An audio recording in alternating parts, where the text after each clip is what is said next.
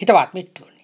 දවසින් දවස ශ්‍රී ලංකාවේ ආර්ථිකය විශාල අර්බුදයකට තල්ලු වෙමින් තිබෙනවා. කෙනෙකුට කියන්නට පුළුවන් මේ ආර්ථික අර්බුදයට හේතුව මේ වසංගතය කියන කාරණේ. හැබැයි ඒක බොරුවක් කියනක මේ රටේ ආර්ථික විද්‍යාව පිළිබඳව හදාරපු බොහෝ දෙනෙක් කියන කාරණයක්. ඒකට හේතුව තමයි මේ වසංගත තත්ත්වය ඇතිවීමට පෙර ඉඳන්ම ශ්‍රී ලංකාවේ ආර්ථිකය කඩාවැටෙමින් තිබුණා. මේකට බලපාපු ප්‍රධාන හේතුව තමයි ගෝඨාභයගේ දිව්කාලීන නොවන ආර්ථික ප්‍රතිපත්ති. එහෙම නැත්නම් එදා වේල ගැට ගහගන්න ආර්ථික ප්‍රතිපත්ති. මිත්‍රෝනි අද වෙනකොට අපේ රටේ බහුතරයකට පාන් කියා ගන්න විදිහක් නැහැ. 69 ලක්ෂයක් හරක් මරත් ගෝටත් ජනාධිපති වෙනකොට කිරිබත් කෑවට අද වෙනකොට ගෙදර ඉන්න අහිංසක දරුවට කිරිබීදුරක් ගෙනත් දෙන එකත් විශාල ප්‍රශ්නයක් වෙලා තිබෙනවා. මේ රටේ බහුතරයක් පවුල් වලට අද වෙනකොට තුන් වේල කන්න විදිහක් නැහැ. මහා ලොකු ආර්ථික විද්‍යාවල් ගැන කයිවාරු ගහපු බන්දුල ගුණවර්ධනලා අද වෙනකොට අපේ රටේ මිනිසුන්ට හදලා දීලා තියෙන ආර්ථිකයේ ප්‍රතිඵලයක් විදියට පොල් අඩලයක් සල්ලි වලට ගන්න තත්ත්වයට ආර්ථිකය වැටිලා. මිත්‍රෝනේ විතරක් නෙමෙයි.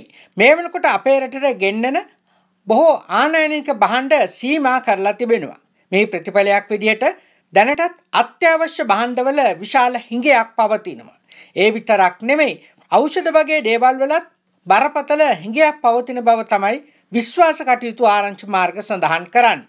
හැබැයි අපේ රටේ මිනිස්සු මේ විදිහට දුක් විඳිද්දි ආණ්ඩුව කියනවා හෙට වෙනුවෙන් අද දුක් විඳපල්ලා එහෙම නැත්නම් බඩගින්නට බඩේ පටි තද කරගෙන වැඩ කරපන් හෙට සමෘද්ධියක් ඇති වෙනවයි කියන කාරණේ. හැබැයි සත්‍ය වශයෙන්ම මේ රටේ ආර්ථික සමෘද්ධිය ඇති වෙලා තියෙන්නේ රාජපක්ෂ පවුලේ කීප දෙනෙකුට පමණයි. උන් අපේ රටේ මිනිස්සු කොච්චර දහදුක් වින්දත් කොන්දේසි විරහිතව සැප සම්පත් විඳිනවා.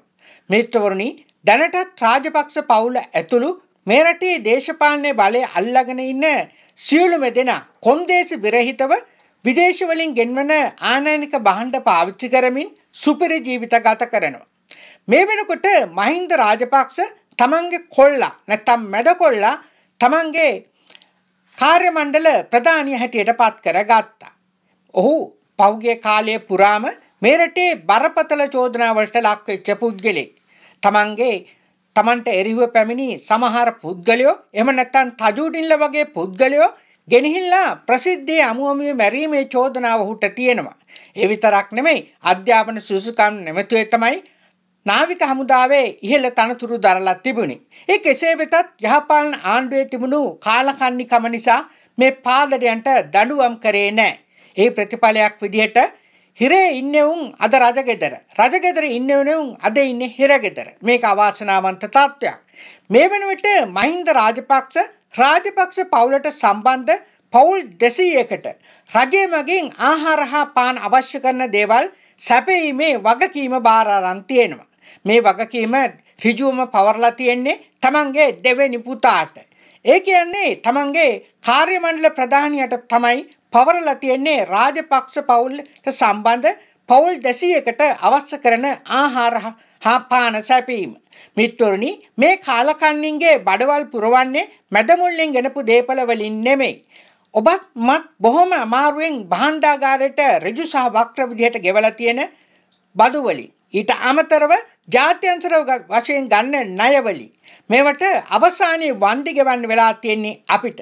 මිත්‍රෝනි 69 ලක්ෂයක් හරක් ගෝඨත් මරත් බලයට එනකොට කිරිබත් කෑවට අද වෙනකොට හතේ හත වැදිලා තිබෙනවා.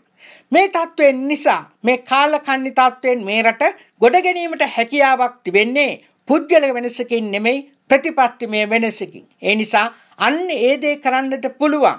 ඒ ගැන හැඟීමක් තිබෙන දැක්මක් තිබෙන සමාජ දේශපාලන කණ්ඩායමක් සමග අපි පෙරට යමු. මෙට්‍රෝනි අරගලතුරු ජයග්‍රහණයක් නොමැති බව ඔබට සිහිපත් කරමින් මා ඔබෙන් සමුගන්න.